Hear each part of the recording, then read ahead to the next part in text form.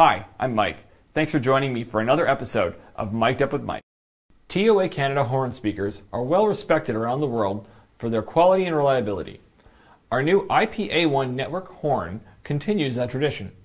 Engineered with video management systems in mind, we created a network horn that integrates and combines video with clear audio.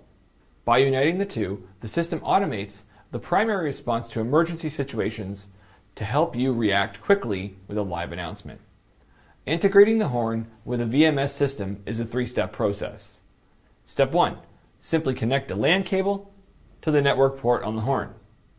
Step 2 Open the VMS software and assign an IP address to the IP horn. Step 3 Register the IP horn speaker to your VMS as either a camera device or an audio device. The horn is detected as a generic ONVIF device. Let's review the four different broadcast modes. 1. SIP direct call. This would be a direct call from a SIP telephone directly to the horn. 2. Multicast stream. This would be a broadcast to multiple horns from a single call point. 3. VMS broadcast.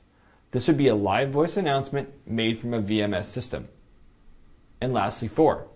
Remote API. This would be an audio announcement from a third party system. Let's cover priority management. The speaker is equipped with the internal priority management function, which allows it to set priorities between different broadcasts. These priorities are distributed by using common protocols, such as SIP or ONVIF, in order for important messages to override others. This will allow playback of up to 20 pre recorded messages, or broadcast a live announcement. TOA's IP setting tool provides an easy way to assign and modify IP addresses. The horn delivers a maximum sound pressure level of 124 dB at 15 watts when powered by PoE+. Operating temperatures are between negative 30 degrees Celsius and plus 55 degrees Celsius. Each audio source has its own volume adjustment. Use the IPA1 horn speaker and let your camera system have the voice. I hope you enjoyed this presentation. Look for more Mic'd Up with Mike videos on TOA Canada's YouTube channel. And don't forget to subscribe.